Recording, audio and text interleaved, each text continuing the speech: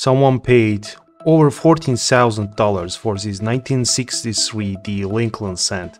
Graded in Mint State 67 red, this specimen displays pristine, lustrous surfaces, free from distracting contact marks.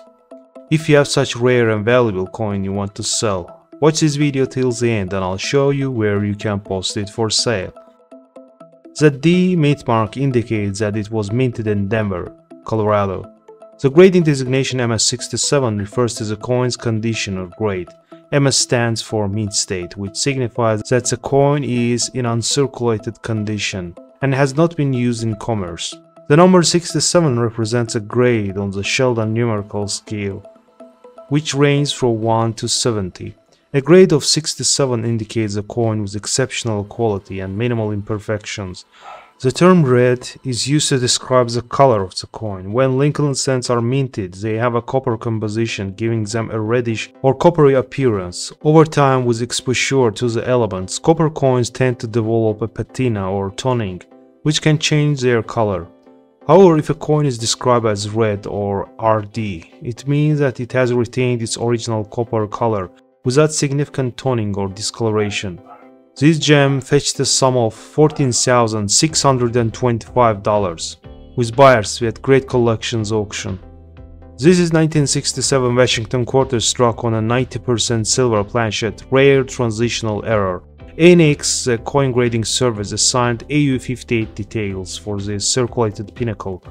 A 1967 silver quarter struck a full two plus years after silver planchets were no longer in use at mint. The surfaces show bright, reflective luster from a past gentle cleaning and have started to tone back with a hint of gold around the lower obverse. Cleaning is of minimal consequence and not distracting. It was sold for $5,750 at Stack's Bowers auction. This is 1984 D Jefferson nickel in MS67 condition with full steps. Certified full steps examples of this relatively modern issue are sought after among collectors. This NGC coin displays satiny luster with a tinge of light golden toning. Central strike sharpness is outstanding. It fetched a sum of $1,440 at Heritage auctions. A 1992 D Lincoln cent in MS65 red condition, highly sought after close AM variety. This guidebook variety shows AM in America touching at the base. It displays satiny copper red luster and is well preserved with no major abrasions. Well struck and pleasing, with textured feel sometimes seen on a copper plated zinc cent struck from 1982 onward.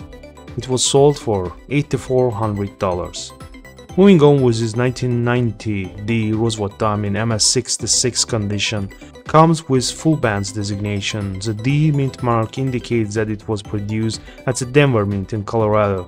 The grade of 66 signifies a coin with excellent quality displaying minimal imperfections. The addition of FB in the grading designation is significant for Roosevelt dimes. FB stands for full bands, which refers to the horizontal bands on the fasces uh, that appear on the reverse side of the coin. A Roosevelt dime with full bands show clear uninterrupted lines across the bands indicating a strong strike and full details. This seldom encountered gem was bargained for $2,643.75 with buyer's fee at Great Collections auction. And here is 1967 Lincoln cent in MS67 condition. Bright satiny surfaces are awash in fully original light orange luster. With neither distracting abrasion or other blemish in evidence, the eye appeal and technical quality are perfectly matched for this superb gem. It fetched a sum of $4,025 at Stack's Bowers auction. Thanks for watching guys, your likes and subscriptions are highly appreciated. Stay well.